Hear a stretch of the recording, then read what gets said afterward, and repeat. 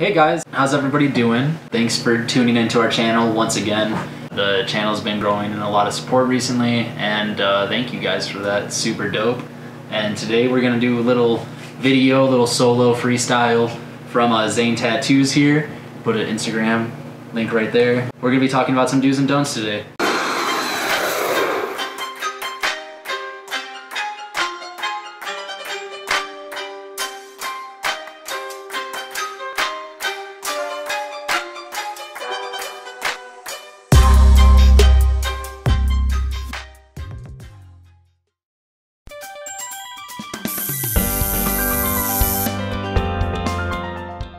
Do's and don'ts for tattoo shops, generally speaking. Uh, the first thing right off the top of my head is when you book an appointment, please be on time. And when I say that, five minutes early at most. Try not to be too early to your appointment because we're usually booked out and you're gonna be disappointed because you get there and we're still tattooing and have to break down and set up. So show up on time to your appointment. Secondly, do not try to get a cheap tattoo because it's not gonna be good. I feel like that should be obvious. If you go around searching for a $60 tattoo, unless it's on some type of special flash sale day, you're probably not gonna get something that you're happy with for the rest of your life. Nine out of 10 times. Do always tip your artist if they do a good job and you had a good, happy time in the environment that they provided for you.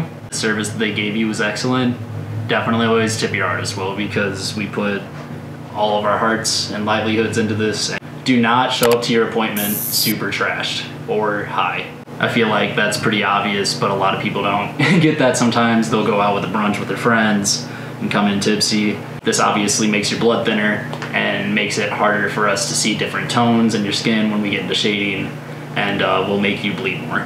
So yeah, definitely don't do that. Do drink lots of water and eat a good meal the night and days leading up to your tattoo appointment.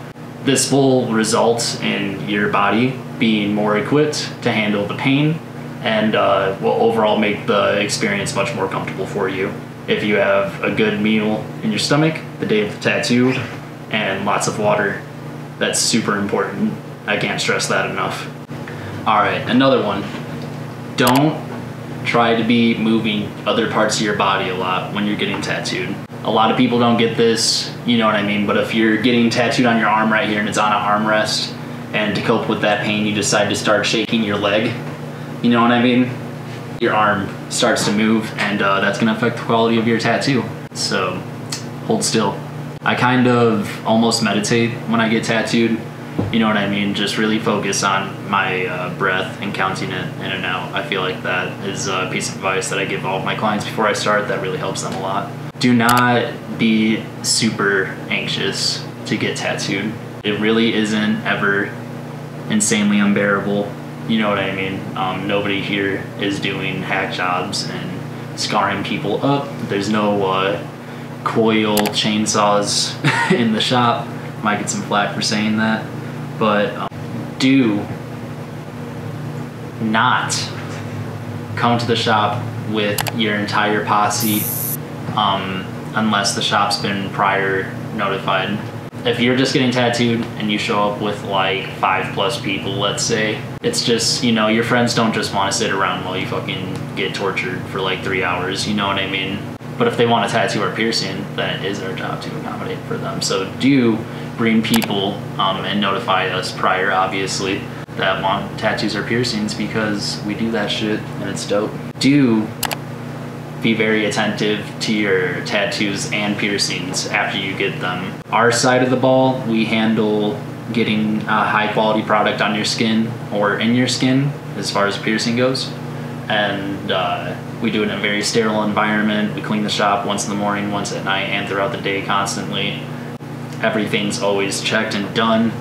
All the products that we use on people are single use, so there's zero risk of cross contamination.